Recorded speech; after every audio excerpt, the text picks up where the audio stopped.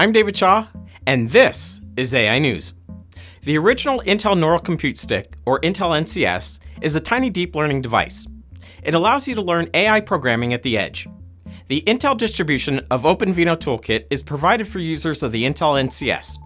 It includes software tools, an API, and reference implementations. Developers can create software that takes advantage of the accelerated neural network capability provided by the Intel NCS hardware.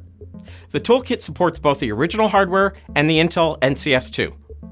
If you've been using the Intel Neural Compute SDK and want to make the switch, the information in this article will make the transition easy. It will walk you through everything from the development platform, the environment setup, API and tools terminology, key differences and concepts between the NC SDK and the toolkit, as well as a few reference implementations and sample code to help get you going.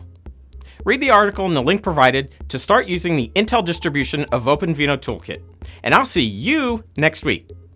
Hey everybody, I hope you liked this video. If you haven't seen our other videos on the Intel Software YouTube channel, remember to subscribe and don't forget to leave us a little comment. Tell us what other material you'd like to see and chat with other enthusiasts who watch our shows.